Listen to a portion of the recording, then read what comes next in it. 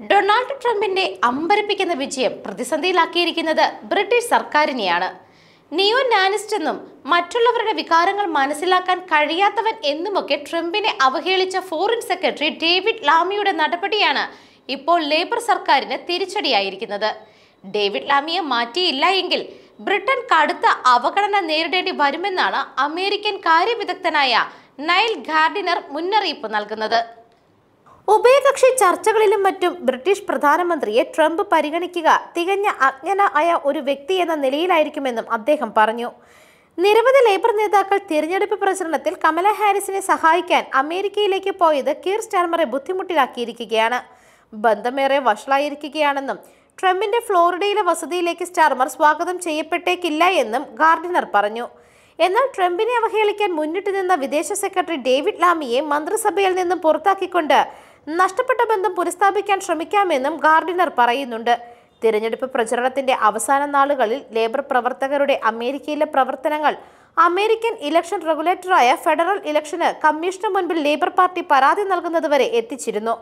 കീർ Starmer socialist കാഴ്ചപ്പാടുള്ള വ്യക്തിയാണെന്നുള്ളതും അതേസമയം Trump socialist ആശയത്തെ കാണുന്നത് ശപിക്കപ്പെട്ട സിദ്ധാന്തം എന്ന നിലയിലാണെന്നതുമാണ് ബന്ധത്തിൽ വിള്ളൽ വീഴാൻ കാരണമാകുന്നത്. ഡൊണാൾഡ് ട്രംപ് സ്റ്റാർമറെ വിശ്വാസത്തിലെടുക്കുമെന്ന് എനിക്ക് തോന്നുന്നില്ല എന്നും ഗാർഡിനർ പറയുന്നുണ്ട്. പലവിധത്തിലും സ്റ്റാർമറെയും ലേബർ സർക്കാരിനെയും ഒരു ശല്യമായി മാത്രമേ ട്രംപ് കാണാനിടയുള്ളൂ എന്നും അദ്ദേഹം കൂട്ടിച്ചേർത്തു. മധ്യപൂർവേഷ്യയിലെ പ്രശ്നങ്ങളിലായിരിക്കും ഇരു കൂട്ടരും തമ്മിലുള്ള അഭിപ്രായ വ്യത്യാസം കൂടുതൽ പ്രകടമാവുക. അടുത്തിടെ ഇസ്രയേലിന് ചില ആയുധങ്ങൾ നൽകുന്നത് ബ്രിട്ടൻ നിർത്തിവെച്ചിരുന്നു. അതേസമയം ഇസ്രയേലിനെ ശക്തമായി പിന്തുണയ്ക്കുന്ന നിലപാടാണ് ട്രംപിന്റേത് അതേ ആവേശത്തിൽ തന്നെ ഇസ്രയേലിന്റെ ഇറാൻ ആക്രമണത്തെ ട്രംപ് പിന്തുണച്ചപ്പോൾ അതിനെതിരെ കരുതലോടെയായിരുന്നു ബ്രിട്ടൻ പ്രതികരിച്ചത്. അതുപോലെ തന്നെ കാലാവസ്ഥാ വ്യതിയാനം ബ്രെക്സിറ്റ് തുടങ്ങിയവയിലും ഇരുവരും തമ്മിലുള്ള അഭിപ്രായ വ്യത്യാസം വളരെയധികം പ്രകടനമാണ്. അതിതീവ്ര ദേശീയതയെ എതിർക്കുന്ന ട്രംപ് യൂറോപ്യൻ യൂണിയനെ സംശയത്തോടെയാണ് വീക്ഷിക്കുന്നതും. അതുപോലെ തന്നെ വ്യക്തിതലത്തിലും ഇരുവർക്കുമിടയിൽ ഭിന്നിപ്പുണ്ട്. കീർസ്റ്റാർമറെ വകവെക്കേണ്ടതില്ലാത്ത ഒരാളായിട്ടായിരിക്കും ട്രംപ് കാണുക. ആവേശഭരിതനായ ഒരു ഇടതുപക്ഷക്കാരൻ എന്നതായിരിക്കും ട്രംപിന്റെ മനസ്സിൽ സ്റ്റാർമറെക്കുറിച്ചുള്ള ചിത്രമെന്നും ഗാർഡിനർ പറയുന്നു. ഇത്തരത്തിലുള്ള ഒരു ഇടതുപക്ഷക്കാരെ എന്നും വെറുക്കുന്ന വ്യക്തിത്വമാണ് ട്രംപ്.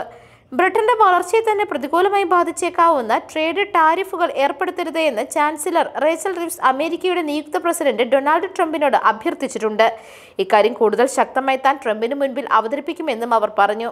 ഡൊണാൾഡ് ട്രംപിനെ നിയോ നാസി എന്ന് വിളിച്ച് അധിക്ഷേപിച്ച ഡേവിഡ് ലാമിയും മറ്റ് ലേബർ നേതാക്കളും ക്ഷമാപണം നടത്തണമെന്ന് കൺസർവേറ്റീവ് പാർട്ടി ആവശ്യപ്പെട്ടിരിക്കുകയാണ്. മാത്രമല്ല ട്രംപിന്റെ വിജയത്തിൽ നിർണായക പങ്ക് വഹിച്ച എലോൺ മസ്കുമായി നേരത്തെ പ്രധാനമന്ത്രി കീർ സ്റ്റാർമർ ഇടഞ്ഞിരുന്നു. ട്രംപ് ഭരണകൂടത്തിൽ മസ്കിന് നിർണായക സ്വാധീനം ഉണ്ടാകുമെന്നതും ബ്രിട്ടീഷ് സർക്കാരിന് ഏറെ പ്രശ്നങ്ങൾ സൃഷ്ടിച്ചേക്കാം.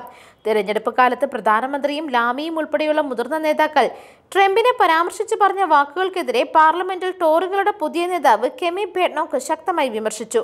ട്രംപിനെ ബ്രിട്ടനിലേക്ക് ക്ഷണിക്കണമെന്നും പാർലമെന്റിന്റെ ഇരുസഭകളെയും അഭിസംബോധന ചെയ്ത് സംസാരിക്കാൻ അദ്ദേഹത്തിന് അവസരം ഒരുക്കണമെന്നും അവർ ആവശ്യപ്പെട്ടു. News desk മെഗ്നവിഷൻ